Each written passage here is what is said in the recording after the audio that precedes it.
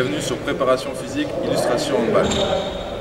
La préparation physique euh, au niveau du handball aujourd'hui est devenue un élément euh, fondamental de la performance.